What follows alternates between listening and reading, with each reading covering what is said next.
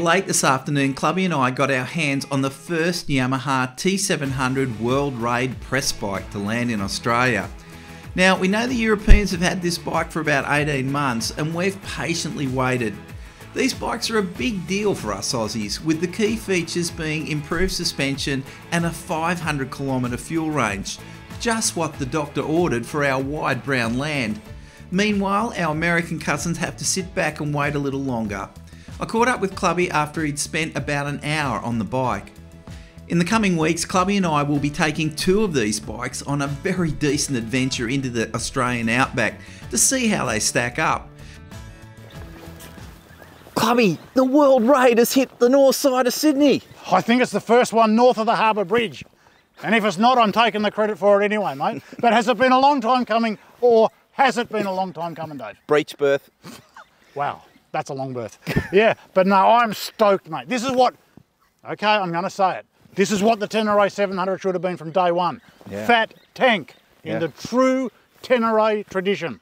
23 litres on board here and a whole lot more with the World Raid. So I was having a look, there's a bit of aerodynamic changes. I mean, there's lots to talk about, so we better There's- blast through that. There is a lot of change, mate. Yeah, the screen feels a little more forward. The winglets are definitely longer. They are, There's changes to the actual cow, internal cowling pieces here, which is noticed directly above the headlights there is different to the previous model. Yeah, look at this here. Oh, Yeah. that- that's a gap there. Yeah, so there's a reshape. trying to improve the aerodynamics. Absolutely there. But I'm going to make the call now.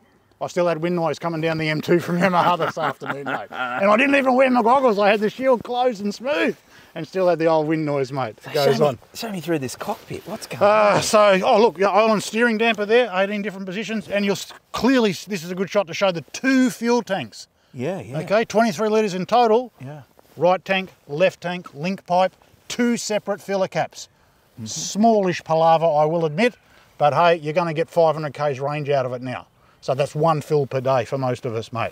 Let's turn the dash on. So, no longer do we have the old LCD display, colour TFT screen. All sorts of information, and you have multitudes of it, just your normal trip information comes up here on this little scrolly wheel. We'll talk about this in a minute, mate. That operates everything.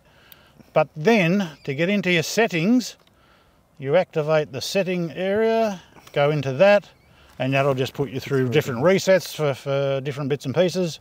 We come back out of there, go back, go now. You've got ABS mode changes on this one. Three ABS modes. So you've got ABS front and rear, like full ABS. Yep. You've got rear off ABS, and then you've got off off ABS.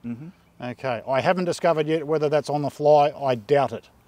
Okay, because I don't, I, I haven't been able to activate the settings uh, menu button down here while moving. Okay, we'll go back into settings again. The other point that comes with the new display, the TFT, you have a number of, oh, missed it. Different themes. Ah, it you, I've got to get my head around this. Sorry guys, let's do it again. This little, there's long presses and short presses. So go a short, no, did it wrong again. We will get there before the sun goes down. I'm just conscious of that. Themes is what I want. Let's give it a short press. Ah. Right, okay, so you've got three different themes for the screen display. Explorer, Street and Raid. Short press, when it goes grey, give it a long press. There, the screen's changed. So Oh, now wow. you've got a big fuel bar up the left Yeah. and smaller other indications there. Yeah. Let's get back to settings. Sorry, done it wrong again, Dave. You're getting there. Clubby, you've oh, been on the look, bike mate. five minutes. Oh, mate. 27 kilometres I've done so far. Hmm. I've gone into maintenance now. I don't want to do that. That's not me. maintenance? Isn't it automatic? The Technology. I also want you to come up here to the fork caps. Oh, yeah. What's up on top of that fork leg you can see there, Look Dave? at this preload. Preload, fully adjustable too, I think. Yep, yep. Adjustable spring preload and compression and rebound damping on the front. Yep. So the standard T7 doesn't have the adjustable preload. No. And then, of course, at the back you've got manual adjustable preload as well. Now, just one question on that. So, um, uh, rebound up the top, compression down the bottom, or we, we don't Yeah, know? there where we get to ascertain that. But Right. on Kayabas, it would be no the other way, wouldn't it? On I'm not sure. Well, we'll check that, but we will check that before publication. All right, so KYB suspension. Now, you've already told me a bit about it. It doesn't dive, you tell me. No, mate, it, it feels like we've actually got spring weight we can work with on this bike. Yep. You know, like we've ridden the Transalp, soft. We've ridden the, the 800 V-Strom, soft-ish. You know, this one doesn't have that feel. It's not like we're using up a whole lot of sag just with our own body weight, you know? Right. So it feels better. And you got to remember now, these are different shock and fork than the standard model. Yep. Longer travel, 20 millimetres more suspension travel each end. Right. Okay, so you've got 230 mil of movement in the front, Wow. 210 at the back, which is 20 more than the standard bike, uh, and 10 mil higher seat height Mm-hmm. from the longer suspension, and it is one foot for me now. Okay. Okay, in the past you've been two foot tippy toes. Yeah, yeah, Now yeah. I'm more one foot tippy You're toes. one footy. Yeah, and that's the so, and it's the world's longest seat. Still a two piece seat. Yeah. So your access into the airbox is still the same. Pop I the could back off. land a helicopter. Yeah, exactly. Mate. It's a that. massively long That's seat they've made. But it, you, you do notice the lower profile of the fuel tanks. Yes. Okay, that because the standard tank is just above the steering head crown there. This one's just just below. So, so these things would lower the center of gravity. This fuel, or they are carrying extra fuel. I think I'm hearing, or I've read, the, the center of gravity is lower because they're actually it's it's lower.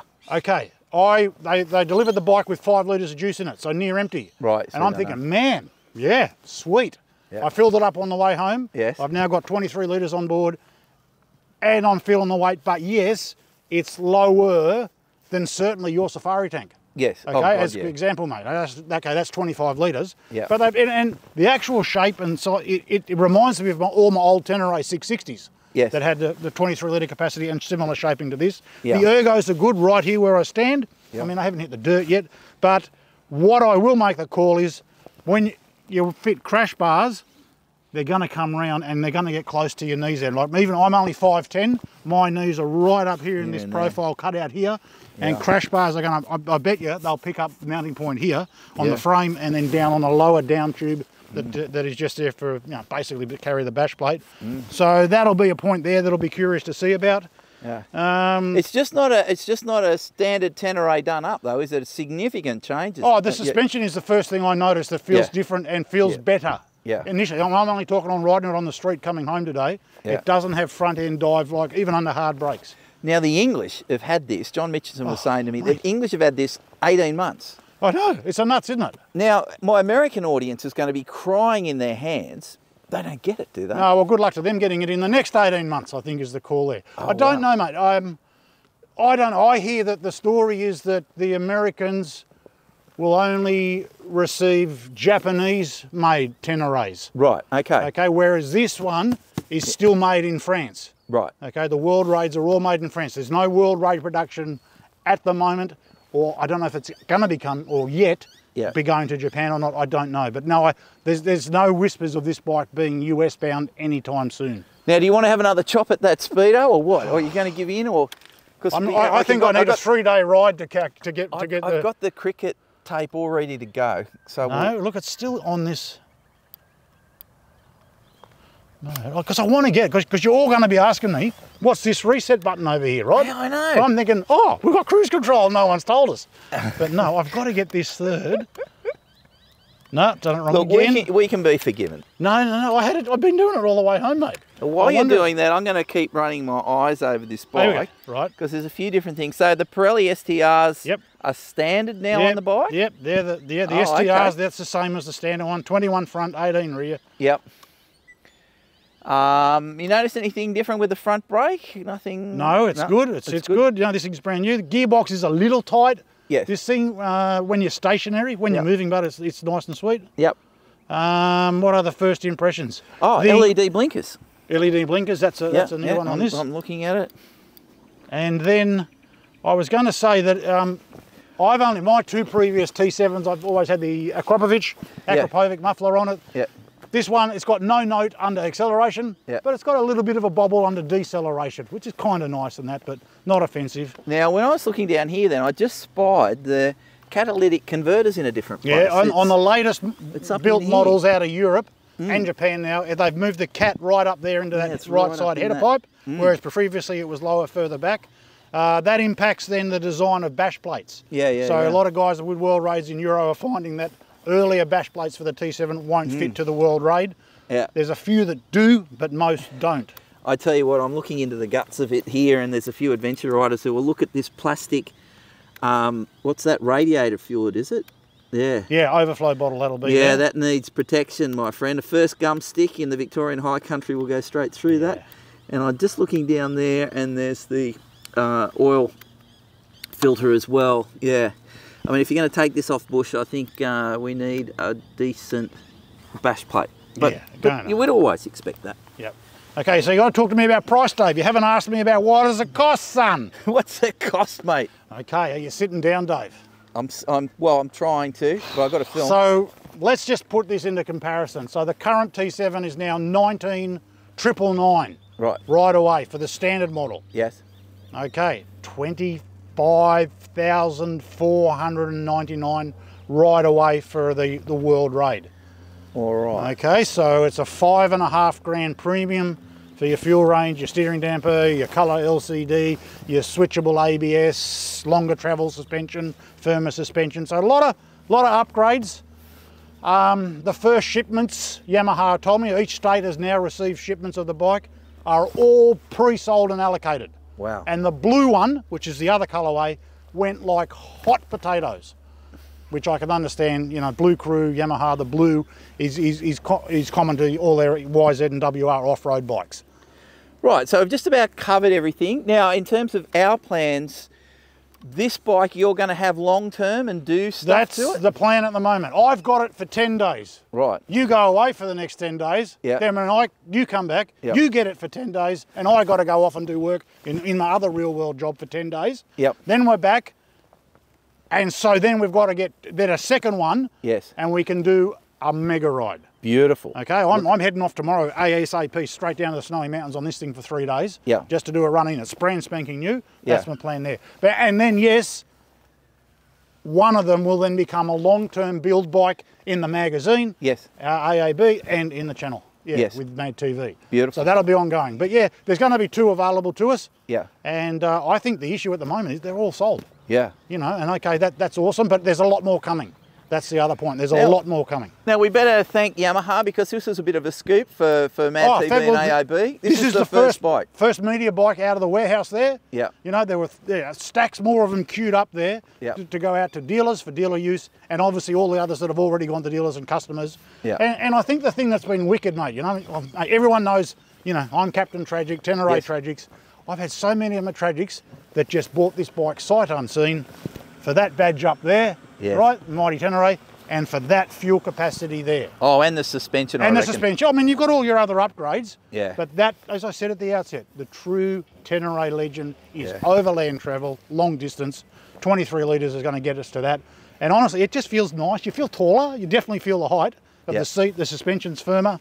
You know, I can't wait to do get some dead set miles on it. Long live the Tenere Tragics. Hip hip hooray! Hey, it's All so good to have it here, Dave. It is, isn't it? It's a cracker. Finally. Yeah. Yeah, exactly. All right, so he hasn't fixed up the dash. Oh, so mate, I am having a Can you do it? shocker. Long hold. Bring up settings. Oh, go Oh, here- through. here he oh, goes. that's the other point. There's a My Ride app. So Yeah. you, you've got phone connectivity to it Yeah, as well. yeah, yeah. If you go through the app. Yeah. Let's do a long. oh. Short, go grey. Now press long. Yes! Whoa! Isn't that great? Look at that. Oh, true. That's what you need. Yeah, but this apparently is for. They're trying to create this whole raid riding, Riding aspect in. Europe. Yeah, yeah, You yeah. know, with sort of like Dakar esque. Yeah, uh, you yeah, know, in so events. timing things. But then that's what this switch gear on the left is about. Right. Is setting your, your trip meters And to match things. then your route instructions, be they Yeah. print or electronic at those Right. events. So glad I got that out. Did it take 38 minutes? It was a Dave? breech birth. I It was would have gone through half a tank of fuel trying to get that done, mate. Well, exciting time for AAB and Mad TV. And uh, anyway, thanks for bringing that out, Clubby. I mean, the, the sun is setting, but it's literally just been ridden Hey, straight mate, out of the mate, factory. The sun's about to rise again tomorrow, mate, and I'll be gone. So, Yeah. no, it's mint, mate. eh? It's it's look, it's it's everyone's been waiting for it. Yeah. You know, and like I'm just stoked that it's finally here, and it's going to be such an and I'll make the call now, such an appropriate bike for Australian outback adventure riding. Absolutely. That's what the Tenere Legend's all about. Mate, with that range, we got to do a cracking adventure with it too. Oh, absolutely, mate. We'll do that, Yeah. mate. It's uh, like you know, if I had if if the planets aligned, I'd be in Cameron Corner in three nights' time, and Yeah. then just keep going. Oh, that's where I think we should head. Yeah, it'll be there, or I reckon. What about our old mate Rocket? Rocket Rod. Rocket Rod Faggotter, yeah. We'd be able to watch his dust for about a half an hour, and then Bye Yeah. Rodney. We'll catch up to you at the end of the day. So, but that's the yeah, that's the country that this bike is made for. I'd love to get some slow mo video of Rocket Ride on one of these World Teneres doing a gazillion miles an hour. I think that'd be pretty doable, Dave. Okay, let's see if we can He'll achieve have no issue with doing that for you, mate. All mate. Well done, Clubby. Yep, thank Thanks you, for mate. the report. All right. See ya, Let's, mate. Uh, tune in soon. See ya. Be back, Jack.